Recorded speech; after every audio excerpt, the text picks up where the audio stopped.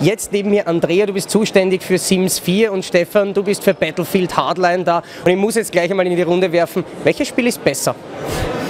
Also da kann ich nur sagen, dass Hardline so ein bisschen die Nase natürlich vorne hat. Aber ähm, ich muss auch gestehen, ich mache klar die PR-Arbeit für Battlefield, aber ich spiele privat Sims. Seit der ersten Stunde. Ich habe Sims 1 gespielt, Sims 2, Sims 3 nicht mehr so viel, aus beruflichen Gründen dann, weil mittlerweile älter geworden und Job bekommen. Und Sims 4 habe ich auch freudig äh, schon angezockt. Und du spielst jetzt privat Battlefield? Äh, tatsächlich nicht. Aber äh, Dragon Age habe ich äh, gespielt, ja, ja, und sehr gerne sogar, genau. Ähm, nein, also ich glaube, es gibt gar kein besser oder schlechter, sondern es gibt eigentlich nur das Spiel zu dem Spieler. Also jeder hat einen anderen Geschmack, jeder hat andere Vorlieben und äh, nichts schließt sich aus, wie Stefan zeigt. Man kann Shooter-Spieler sein, man kann aber auch Sims-Spieler sein äh, und andersrum. Und ähm, ja, ich denke, es geht einfach äh, nach dem, was der Spieler eigentlich möchte ich wollte jetzt eine Partei ergreifen irgendwie, aber man könnte auch mit diesem Sims-Diadem dann zum Battlefield Hardline-Stand gehen, weil, ähm, so wie ich das mitbekommen habe, zum ersten Mal in Europa kann man das Spiel selber anspielen. Es war ja auf der Gamescom noch nicht möglich und zwar auch den Singleplayer-Modus. Genau, also Dragon Age ist zum ersten Mal anspielbar für Public, äh, Leute, die vorbeikommen. Das ist für uns total aufregend, das hier in Wien anbieten zu können. Es sind auch noch sechs Wochen bis zum Release, am 20. November kommt das raus und äh, man kann hier eine satte halbe Stunde anspielen und sich in der Welt von Tedas vergnügen und ähm, wie gesagt, zum allerersten Mal richtiges Hands-on. Also lohnt sich zu kommen. Was gibt es von Battlefield zu spielen? Von Battlefield gibt es den Rescue-Modus, ähm, also der Geiselnehmer-Modus sozusagen. Man verkörpert bei Hardline ja anders als noch bei den anderen Battlefield-Teilen diesmal Polizei und Gangster. Und im Rescue-Modus sind die Parteien auch, ähm, also du kannst in der einen Runde bist du Polizist, in der nächsten Runde entsprechend äh, Geiselnehmer. Und es geht darum, halt eben die Geiseln zu befreien als Polizist oder halt eben zu gucken, dass sie nicht befreit werden. Das ist ein spannender Modus, weil er ist auch zeitlich limitiert. Wenn du äh, praktisch erschossen wirst, dann ähm, hast du auch keinen Respawn, musst also aussetzen und warten. Und ähm, die Runde geht auch nur drei Minuten, also ein sehr schneller Modus. Was sind für dich äh, persönlich die größten Unterschiede jetzt vom Battlefield Hardline zu den bisherigen Spielen? Also eindeutig das Setting. Äh, das zieht sich sowohl durch den Singleplayer als auch im Multiplayer. Wir haben dieses Cops, Robbers und Criminals und ähm, im Singleplayer ist das ganz signifikant, weil der bisherige Einzelspieler-Part von, von den Battlefield 3, also Battlefield 3 und 4, waren ja im Military-Setting. Ne? Man ist mit seiner Squad in ein Einsatzgebiet geflogen, hatte dort äh, Bravo, Echo, Alpha, musste die entsprechend äh, die andere Armee äh, attackieren. Und jetzt hast du hier halt eindeutig dieses Polizeisetting. Ähm, das Spielgefühl ist ein ganz anderes im Singleplayer. Man kann da wirklich von einem ganz anderen Spielgefühl reden. Und im Multiplayer hast du immer noch ganz eindeutig diese Battlefield-DNA.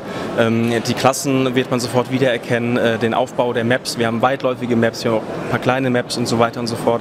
Die DNA ist noch ganz spürbar mit, mit den urbanen Zerstörungen, ähm, mit den weitläufigen Landschaften. Von daher finde ich, ist der Unterschied ganz eindeutig im Singleplayer signifikant, aber auch im Multiplayer, weil einfach du spielst halt nicht mehr im Military-Setting, sondern was so ein bisschen uns allen so ein bisschen vielleicht näher ist, dieses Cops- und, und, und Räuber- und Gendarmengefühl.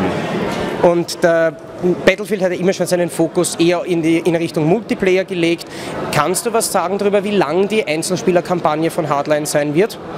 Das kann ich so ein bisschen selber auch nur abschätzen. Also man, man hat ja auch so ein bisschen das Gefühl dafür, wie lange auch generell normalerweise so ein First-Person-Shooter in der Einzelspielerkampagne ist. Ähm, überschreitet selten so die 10 Stunden und ungefähr da bewegen wir uns auch so. Ähm, interessanterweise, da werden wir in Zukunft auch noch viel drüber sprechen, weil gerade so Singleplayer äh, in den Fokus rückt. Wir sprechen da ja auch von, nicht von Leveln, sondern von so Episoden, weil das Ganze ja auch so ein bisschen so im Serienformat geschnitten sein wird. Und dann wird man ungefähr so bei 10 Stunden landen, würde ich, würde ich schätzen. Und wir haben ja bald einen anstehenden Geburtstag. Sims wird 15 Jahre alt. Was findest du, ähm, dass dieses Franchise so lang am Leben erhält und so lang frisch hält? Ich glaube, das Geheimnis des Sims liegt darin begründet, dass jeder so seinen äh, Spielspaß darin definieren kann. Also es äh, bietet äh, für diejenigen, die gerne Geschichten erzählen, ähm, viele Möglichkeiten, aber auch für diejenigen, die zum Beispiel gerne kreativ sind und Häuser erbauen oder die Sims gestalten. Also es spricht sehr unterschiedliche Spielergruppen an und ähm, natürlich auch weibliche Fans, ähm, weil man hier auch keinen Leistungsdruck hat. Man hat keine Level, die man bestehen muss. Und das macht es viele oder attraktiv für sehr, sehr viele Spieler. Spielergruppen ähm, und die gehen wirklich von jung bis alt, weiblich bis männlich, total egal. Äh, also es ist wirklich eine der ähm, heterogensten ähm, ja, Spielerschaften eigentlich. Und jetzt kann es sein, wenn man das Spiel ausprobieren möchte, aber es da nicht auf die äh, Game City schafft, gibt es da auch eine Möglichkeit, das zu testen? Ganz genau. Also für die Sims 4 gibt es eine Demo. Ähm, das ist die Demo äh, zu Erstelle einen Sim und äh, die kann man sich kostenlos downloaden auf origin.com und ähm, ja, kann einfach mal austesten, wie sich ähm, der neue äh, Erstelle einen Sim ähm, anfühlt und anspielt. Was ich mir denke, was, was Sims-Spiele immer wieder interessant macht, ist die Tatsache, dass nach einiger Zeit wieder Erweiterungspacks und zusätzliche Features veröffentlicht werden. Kannst du uns da schon ein bisschen was sagen, was für 2015 vielleicht geplant ist? Zu Erweiterungspacks kann ich leider noch nichts sagen. Ähm, da gibt es keine News derzeit. Ähm, aber ähm, wie man vielleicht schon der Presse entnehmen konnte, es gibt kostenlose Updates. Ähm, erst jetzt vor ein paar Tagen äh, sind Geister für die Sims 4 erschienen und es geht weiter im November mit den äh, beliebten Pools. Die kommen also äh, und noch weitere äh, interessante Features, worauf sich die Fans freuen dürfen. Ist eine Konsolenversion auch geplant oder bleibt die Sims 4 exklusiv auf dem PC? Derzeit ähm, planen wir nur für den PC. PC und äh, wie die äh, Studiochefin Rachel Franklin kürzlich im Blog äh, bekannt gegeben hat, dürfen sich wohl auch bald die Mac-User auf News freuen. Das klingt ja nach was. Eine Sache hätte ich noch für Battlefield. Ähm, es gibt ja in der deutschen Version einen äh, prominenten Sprecher, nämlich der Rapper Kollega ist dabei.